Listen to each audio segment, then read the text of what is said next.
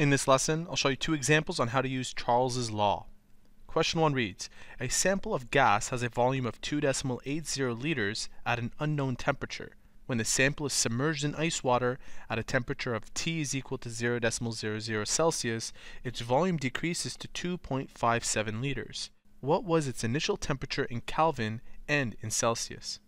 We're told the original volume, which we'll denote as V1, is equal to 2.80 liters. We're also told that its final volume, which I'll denote as V2, is 2.57 liters. Given that they're asking for the initial temperature, which is T1, we've been given T2 as 0.00 Celsius. We need to convert this into Kelvin. So 0 Celsius is actually equal to 273.15 Kelvin. I'll write down 273.15. All we have to do is apply these numbers into Charles's law formula and we're done. Let's go ahead and do that. We have 2.80 divided by T1, which is what we're looking for.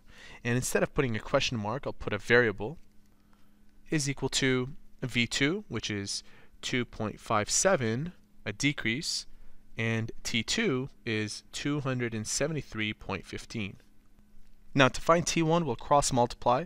So we'll take this variable multiply it to 2.57 and take 273.50 and multiply it to 2.80 let's use our calculator.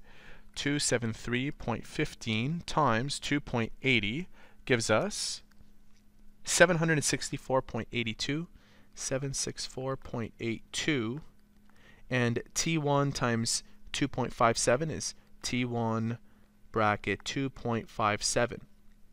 Finally, to isolate for T1, we will divide both sides by 2.57.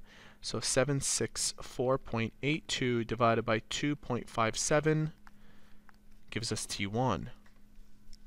Dividing this by 2.57, we get a final temperature of 297.59.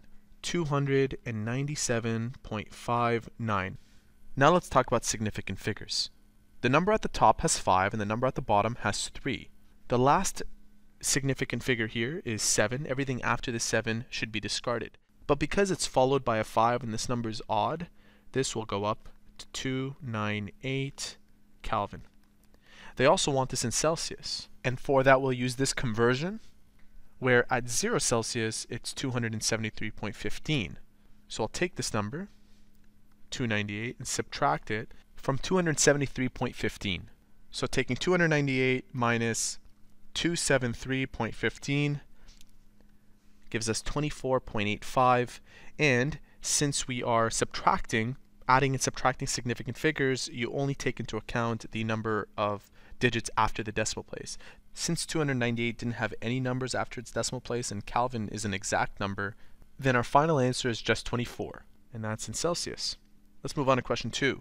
A gas in a cylinder with a movable piston has an initial volume of 88.2 milliliters, so that's V1. If the gas is heated from 35 Celsius to 155 Celsius, what is the final volume? So we have been given this number. We're looking for our final volume, we know that our initial temperature is 35 and it goes to a final temperature of 155. Now using Charles's law we have V1 over T1 is equal to V2 over T2. And before replacing T1 and T2 with these temperatures that are in Celsius, we need to convert these into Kelvin because the ideal gas law is configured that way. It's in Kelvin. So we have V1, which is 88.2, over 273.15 plus 35 is equal to what we're looking for, V2, and T2 is 155 plus 273.15. Using our calculator, 273.15 plus 35 that's 308.15. I'll write that down so I won't forget. 308.15. And this becomes 155 plus 273.15. I get 428.15. Now, to cross multiply, I'll take this number and multiply it to 88.2. and I'll take this number, multiply it by V2, then subsequently divide both sides by that number. So technically, I'm taking this and dividing by 308.15. This gives us 122.54. 122.54. Our final answer should have three significant figures. So this, given that it's a 5 and it's followed by another number, this means that this will go up to 123 and the units are in liters. The reason why we round to three significant figures is because when you add these two numbers up, remember when you add, you take into account only the numbers after the decimal place. This number didn't have any numbers after its decimal. So technically, this should have only been 308, but I kept the 15 when I did the calculation to prevent any sort of rounding errors, and same with this. But eventually, you should only have 3. And so there you have it.